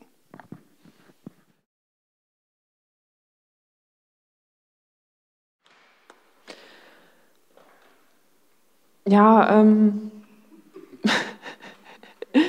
sehe ich anders. Ähm, wenn man sich mal anschaut, äh, was für von, von was für einer Form von Terrorattentaten wir ähm, eigentlich sprechen in den letzten Jahren, sowohl in Deutschland als auch in Europa, als auch vielleicht in den USA, dann ist es ja so, dass wir ähm, da eine ganz mannigfaltige, ähm, sag ich mal,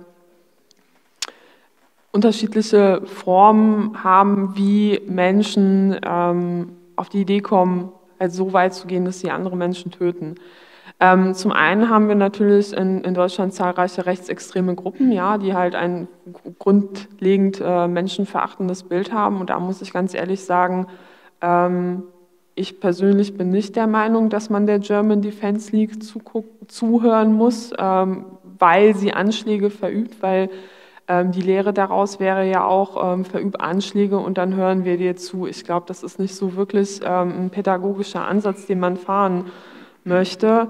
Ähm, das andere ist, wir hatten in den letzten Jahrzehnten auch zahlreiche Attentate, die sich aus dem Sektenumfeld sozialisieren. Ja, das sind Leute, die einfach nachhaltig ähm, verblendet sind. Da denke ich auch nicht, dass man den Menschen unbedingt zuhören muss. Ähm, sehe ich, sehe ich keinen keinen Mehrwert drin. Ähm, es gibt zahlreiche Reichsbürgerorganisationen in Deutschland, wo ich auch der Meinung bin, ähm, nee, zuhören, weil Leute ähm, andere Menschen umbringen, ist jetzt auch nicht unbedingt der Umgang, den ich mir wünsche.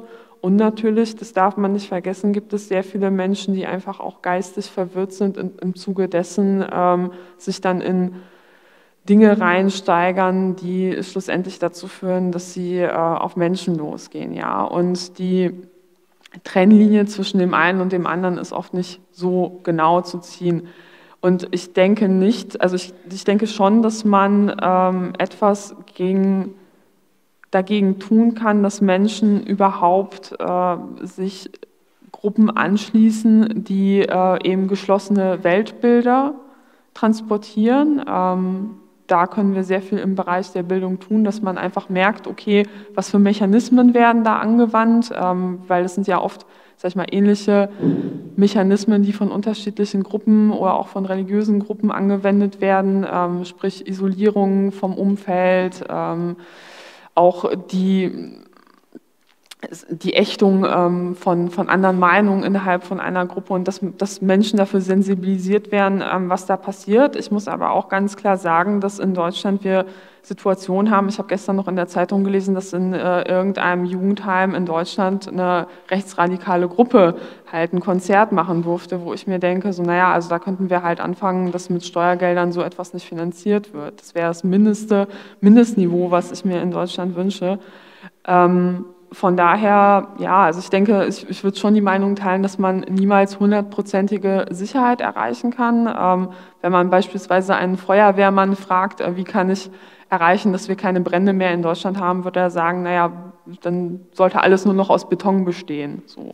Und das äh, wäre ja kein, kein äh, Land, in dem man leben möchte. Genau, also hundertprozentige Sicherheit wird es nicht haben. Ich glaube aber schon, dass der Staat da im Hinblick auf die Wahrscheinlichkeit, wie, ähm, wie wahrscheinlich es ist, dass man eben von so Gruppen vereinnahmt wird, dass man da schon etwas machen kann. Also dass man Kindern beispielsweise in der Erziehung äh, vermittelt, ähm, dass sie eben nicht machtlos sind, weil so Wirk, Wirk, mangelnde Wirkmächtigkeit wird ja immer in der, also wird in der psychologischen Forschung aus, beispielsweise als eine eine Triebfeder äh, gesehen, warum Menschen sich ähm, beispielsweise von Verschwörungstheorien angezogen fühlen.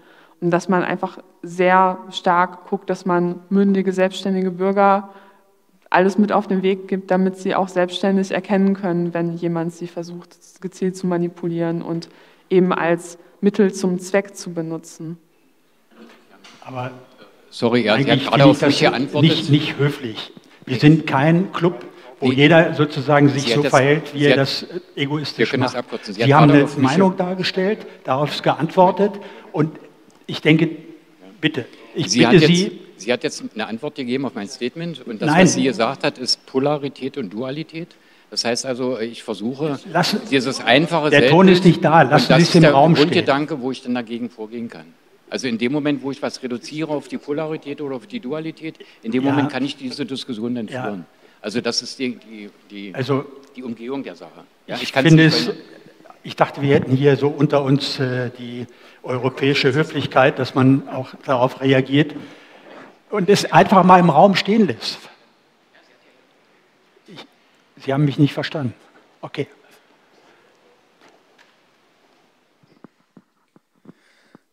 Gut, ähm, ich versuche mal wieder auf den Punkt zurückzukommen. ähm, also ganz einfach, das Problem ist, wir haben äh, terroristische Anschläge. Ähm, damit müssen wir irgendwie umgehen. Die Frage ist, wie. Ähm, und zwar letztendlich äh, unter dem Aspekt ähm, Angemessenheit. Ähm, nun ist es ein gehyptes Thema, das heißt, äh, es wäre nicht unüblich, dass man da entsprechend auch mehr Mittel reinpackt im Verhältnis, als man vielleicht, äh, wo man woanders vielleicht einen wesentlich höheren Effekt erzielen könnte. Das wird einfach nun mal so sein. Ähm, damit komme ich im Wesentlichen auf meine Frage. Die ist nämlich, äh, es gab ja so einige Berichte, ähm, was hier effizient ist und was weniger effizient ist, aber ich habe ich kenne also keine Studien oder irgendwas, wo, wo mal jemand gesagt hat, also äh, Kameras kann man vergessen oder Kameras sind gut oder äh, Überwachung von Leuten ist super, wenn wir die ganzen Handys äh, ausspionieren ich, äh, oder Computer oder was auch immer oder bis hin zu Clouds und ich weiß nicht, das, ähm, das ist ja ein unglaublicher Aufwand. Da werden ja ähm, so wahnsinnig viele Daten gesammelt, dass man zwar mit so Sortierprogrammen da natürlich filtern kann, aber nichtsdestotrotz braucht man irgendwo auch Menschen, die jetzt gucken, ist das relevant, ist es nicht. Also, ähm, wie weit bist du in diesem Thema? Kannst du da was zu sagen? Das, ähm, gibt es da Beispiele?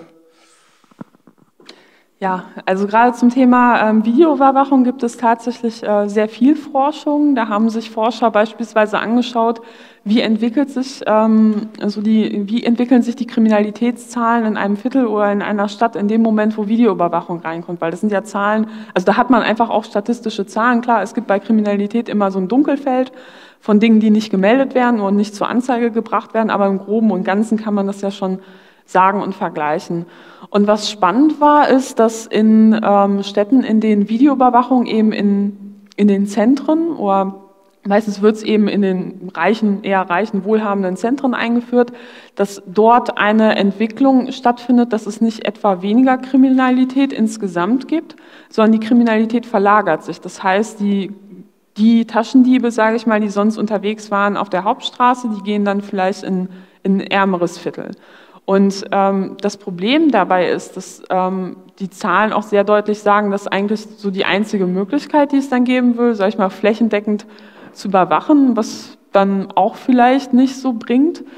Ähm, die, und der andere Punkt ist, dass gewisse Straftaten auch, ähm, also auf gewisse Straftaten hat das Videoüberwachung überhaupt gar keine Auswirkungen. Also es gab ja gerade in Berlin immer wieder Diskussionen um ähm, Straftaten, die sich in U-Bahnen abspielen, Gewaltstraftaten. Und da hat man ja, also da weiß doch jeder Berliner, jede Berlinerin, das wird videoüberwacht, ja. Und es passiert trotzdem immer wieder.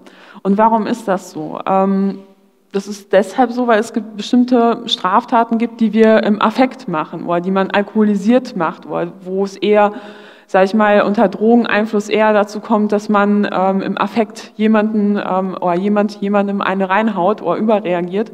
Und auf solche Dinge hat äh, Videoüberwachung nachweislich keinen oder kaum einen Effekt. Und ähm, ich habe eine Zeit lang in Hamburg gelebt. Ich habe da auch ähm, meinen Master gemacht und dort war es so, dass ähm, ein Teil der U-Bahn videoüberwacht wurde oder auch der, ähm, der Kiez, also äh, die Reeperbahn. Und dort hat man eben festgestellt, dass so diese, ähm, ja, sag ich mal, für dort übliche Kriminalität durch Videoüberwachung nicht abgenommen hat, weil das sind halt meistens Besoffene, die sich nachts morgens prügeln.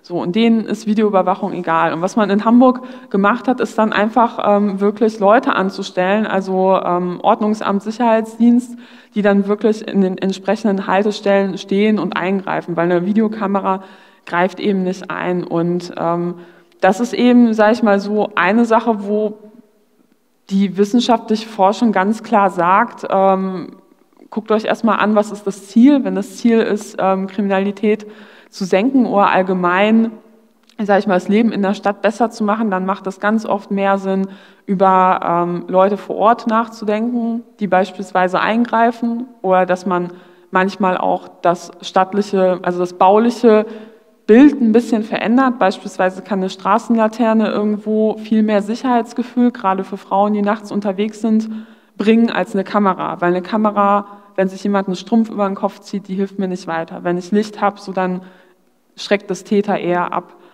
Und ähm, Um nochmal auf äh, Datensammlungen zurückzukommen, auch bei der Vorratsdatenspeicherung gibt es ja mittlerweile auch ähm, mal Zahlen aus der Praxis. Und bei vielen Attentaten in den letzten Jahren haben wir ja ganz klar gesehen, dass Vorratsdatenspeicherung Täter nicht abschreckt. So, ne, das ist ja auch relativ klar und eindeutig, wenn ich äh, davon ausgehe, nach dem Anschlag irgendwie tot zu sein, dann ist mir ja total egal.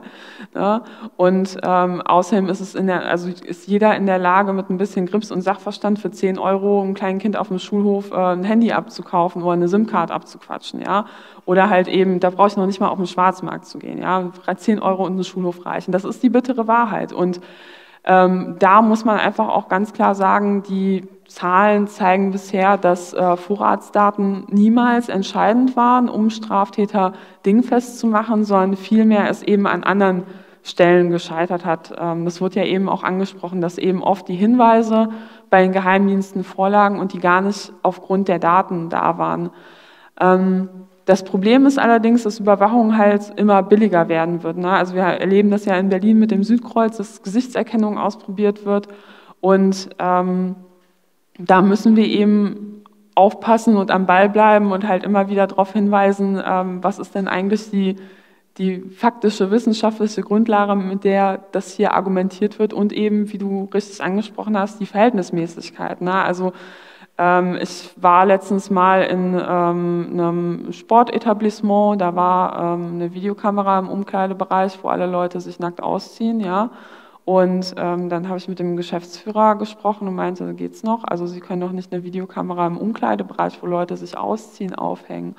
Und da meinte er so, ja, nee, das geht nicht. Also hier ähm, werden so viele Brieftaschen geklaut, das glauben Sie gar nicht, wie oft Schließfächer aufgebrochen werden. Und dann meinte ich so, ist das Ihr Ernst? wenn irgendwo eine Brieftasche geklaut wird, dürfen sich dann vier Polizisten meinen Hintern aus drei Blickwinkeln angucken. Finden Sie das verhältnismäßig? Würden Sie Ihre minderjährige Tochter dahin, also empfehlen, in so ein Etablissement zu gehen? Er ist ja natürlich ausgerastet, so, ne? Und aber diese, diese Diskussion müssen wir halt eben auch führen, weil daran führt kein Weg dran vorbei.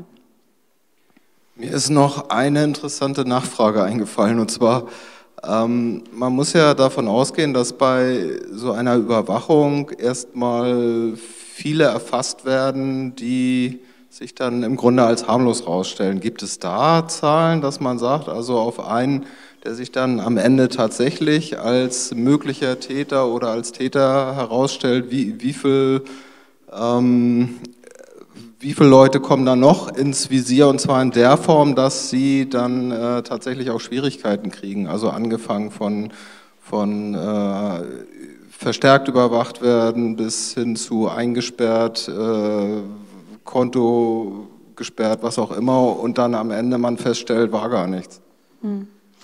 Ja, also da gibt es äh, tatsächlich viele, viele Schicksale, die ähm, wirklich erschreckend sind und es werden immer mehr und es ist immer, sag ich mal, hängt immer an einzelnen Überwachungsmaßnahmen. Was besonders, ähm, sag ich mal, große Berühmtheit erlangt hat, ist der Fall bei der Fluggastdatenspeicherung. Das sind quasi Blacklists, die zwischen den einzelnen äh, Flugbehörden ausgetauscht werden, wo eben ähm, Geheimdienste sagen, das sind gefährliche Leute. Auf welcher Grundlage sie zu einem Ergebnis kommen, ist halt fraglich. Ähm, und da ist tatsächlich ein neugeborenes Baby mal drauf gelandet.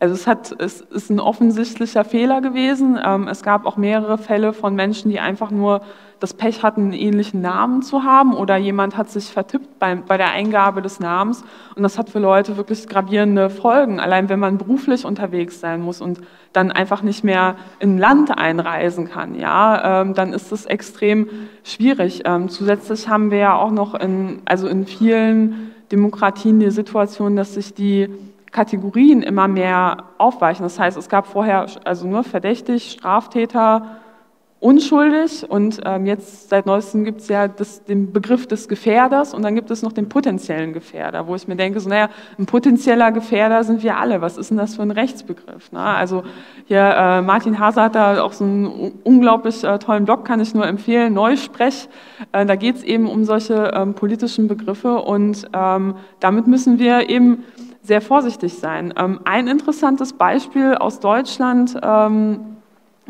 gibt es ähm, zum Thema in Datenbanken landen. Da gab es mal eine Anfrage von Piraten im Landtag NRW dazu, wer eigentlich in der Datei Gewalttäter Sport drin ist. Ne? Das sind halt Leute, die von der Polizei als Hooligans oder potenzielle Hooligans ähm, eingeordnet werden. Und da kam eben raus, dass mehrere 10.000 Leute in NRW in dieser Datei sind, wo man sich einfach klar werden muss, so, so viele Hooligans kann es gar nicht sein. Und da waren eben ganz viele normale Fußballfans, die einfach mal bei dem falschen Spiel dabei waren und dann halt deren Personalien kontrolliert wurden. Und dann sind sie da eben reingerutscht. Und ähm, ich kenne tatsächlich Freunde, die haben mal so eine Gefährderansprache dann daraufhin bekommen. Also dann kommt morgens die Polizei vom Spiel zu dir, klingelt oder einen Tag davor und sagt so, hallo, Herr Müller, ähm, ich, wir wollen jetzt hier ein ernstes Wörtchen mit Ihnen reden. Morgen ist ja das Spiel, da wollen Sie sicher hin. Ne? Passen Sie mal auf, was Sie machen. Wir haben ein Auge auf Sie. Und das ist natürlich schon sehr einschüchternd. Und ähm, ja, das ist tatsächlich ein Problem. Im, je mehr solche Überwachungssysteme es gibt und desto weniger Kontrolle darüber ausgeübt wird, was sind eigentlich die Kriterien, wie ich da lande und sind die überhaupt gerechtfertigt und wie komme ich da wieder raus? Bei, meistens gibt es ja überhaupt gar keinen Mechanismus, wie ich mich von so einer Blacklist äh, beim, beim, beim Fliegen streichen lassen kann. Ähm, ja, das kann wirklich Existenzen zerstören. Ja, ja hat es auch. Ein, zwei. Ja, ich fasse mich kurz, Rainer. Auf jeden Fall ähm, danke ich dir, Katha, dafür, dass du heute gekommen bist und uns informiert hast. Ich finde es auch schön, dass du gerade nochmal diesen Bogen zum Sport geschlagen hast. Denn ich habe ein konkretes Beispiel. Äh, ich finde deinen Hinweis, dass eben diese Überwachung nicht nur den Sicherheitsgedanken befriedigen soll, sondern auch sich gegen Minderheiten richtet, gegen Randgruppen, gegen gesellschaftliche Randgruppen angewandt wird. Äh, das konnten wir gestern erleben äh, bei Werder-Fans in Hamburg, die zum Spiel anreisen wollten. Ich glaube, es waren fünf oder sechs. Die wurden von der Polizei zwölf Stunden festgesetzt mit der Begründung, es waren Ultras, ne? und sie wurden festgesetzt mit der Begründung der konspirativen Anreise. Ja, also die haben sich abgesprochen, ja, es ist aber eigentlich gar nicht witzig. Äh, die haben sich also abgesprochen, um zu ihrem Spiel zu fahren. Und wahrscheinlich sind sie aus verschiedenen Richtungen angereist, um im Vorfeld die Kontrollen zu vermeiden. Mhm. Das wird dann als Anschuldigung gedreht. Ja? Also man schafft eine Situation, wo Menschen, die an ihr Vergnügen möchten, ja, an ihre Freizeitgestaltung möchten, behindert werden. Und wenn sie diese Behinderung umgehen, dann werden sie verdächtig. So. Und das ist, äh, das ist eigentlich, was, was mich an dieser Überwachungsgeschichte stört. Auch das mit dem Selbstzensieren und so weiter, ja, klar. Äh, das beste Beispiel für dieses, auch dass es sich teilweise im rechtsfreien Raum abspielt, ist ja die Schufa. Es gibt überhaupt kein Gesetz, das bei einem Vermieter vorschreibt, dass ein Bewerber für eine Wohnung eine Schufa vorlegen muss. Es ist aber gesellschaftliche Selbstverständlichkeit und du kriegst keine Bude, wenn du dich weigerst, die freiwillige Selbstauskunft abzugeben. Hm. Also nochmal vielen Dank und äh, ich sehe die Gefahr hauptsächlich der, äh, als Machtinstrument bei der Eindämmung und Unterdrückung von gesellschaftlichen Strömungen und Randgruppen, die halt auch nicht so Mainstream sind. Mhm. Ja. Äh, eine Sache noch. Wir geben uns hier echt große Mühe, ja? also auch gerade Rainer und äh, Mirko und sein Team. Es wäre wirklich schön, wenn die Gäste verstehen würden, dass es eben keine wirklich offene Plattform für die krudesten Meinungsäußerungen ist, sondern dass wir hier einen kleinen Rahmen haben, dass wir eine gewisse Zeitbeschränkung haben und auch technische Beschränkungen. Vielen Dank. Ja, äh, danke Olli, dass du darauf nochmal hingewiesen hast. Äh, wie gesagt, wir haben 35 Matineen gehabt. Etwas auch in Vorbereitung für die nächste Matinee sagen. Ich nehme an, alle kommen wieder weil Sie sozusagen diese Diskussionsrunde für wichtig halten, egal welches Thema wir aufrufen. Aber ich bitte um Verständnis dafür, dass Sie nach einem bestimmten Rahmen ablaufen. Rein formal. Wir wollen niemand ausblenden. Ich glaube, das hat die heutige, äh, das heutige Zusammensein auch nochmal bestätigt. Alle Fragen sind zugelassen. Ja, sie müssen zugelassen sein, damit wir eben die Streitkultur gemeinsam entwickeln. Aber wir müssen uns damit das Ganze aus technischen Gründen, aus formalen Gründen einen klaren Ablauf hat, auch an gewisse Gepflogenheiten äh, halten und darüber eben verständigen. Ich finde es toll, dass wir ein nicht einfaches Thema in der Öffentlichkeit äh, diskutieren konnten. Ich finde es auch gut, wie das hier abgelaufen ist. Ich finde es natürlich persönlich unbefriedigend, dass wir uns in der Sackgasse befinden bei diesem Thema oder im Rückzugsgefecht. Ich ähm, bin da sehr pessimistisch, hoffe aber, dass es genügend gibt, die ihre Stimme erheben, genügend Mutige im Land. Und Gott sei Dank haben wir noch zwei, drei andere neben dir, die seit langer Zeit auf die Risiken dieses Themas hinweist. Und insofern äh, hoffe ich, dass wir gemeinsam dann den Mut nicht verlieren. Ob wir die Wende schaffen bei der Verfasstheit unserer politischen Parteien, ähm, ich lasse es offen. So, tausend Dank nochmal natürlich für Katar. Ja, danke.